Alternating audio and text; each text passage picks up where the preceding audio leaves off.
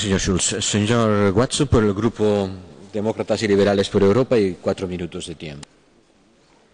Mr. President, Mr. President in office, with your presidency's emphasis on productivity, accountability and transparency, Finlandia is music to liberal ears. The programme you have presented today, Prime Minister, reflects both the strong reforming tendencies of your government and the egalitarian and innovative impulses of a nation which repeatedly tops the league tables for education, innovation and development. Liberal values will be on the march with your presidency. I'd like to take just a few areas which my group feels to be important.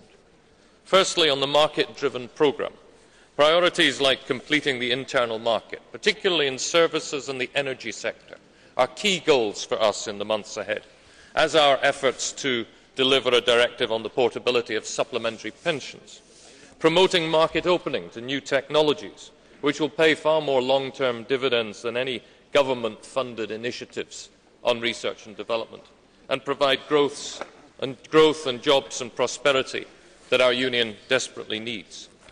Article 42 on Justice and Home Affairs. Your Presidency is right to focus on areas where European Union legislation adds value to citizens' lives. But in the modern world, a wanted man can be halfway across Europe before the policeman has his boots on. It beggars belief that the law still has borders when criminals don't.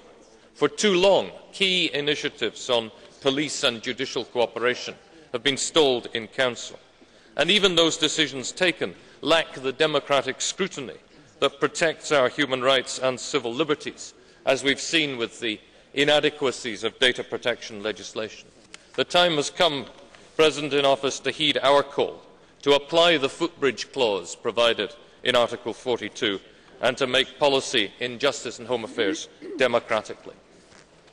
The Transparency Initiative, which has found one of its key supporters in your presidency, is one way out of this anti-democratic cul-de-sac. Liberals and Democrats seek your assurance that safeguard clauses will be used sparingly or not at all.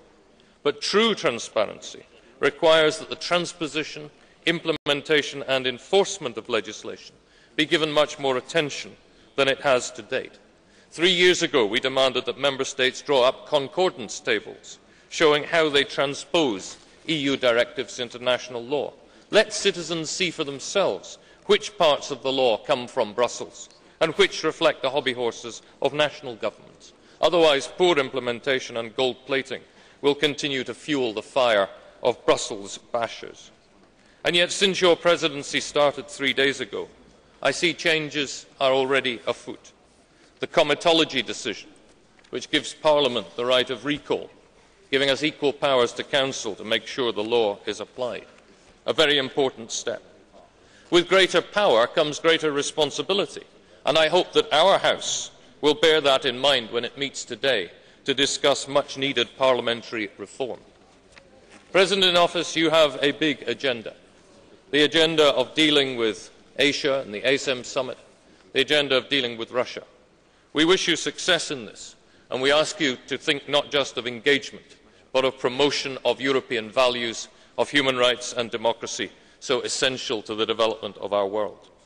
We wish you success in finding a way forward to an agreement in the WTO, so valuable to our economy and that of developing countries.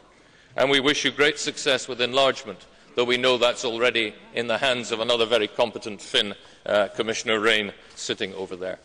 Prime Minister, in conclusion, you spoke about fears of globalisation. These can best be overcome by developing a European consciousness as Lönnrot did for Finland in the Kalevala, we need to draw on aspects of our common history to create a common consciousness. I wish you the wisdom of Väinämöinen. I hope that for the people's lasting pleasure you compose mighty songs for Europe's children.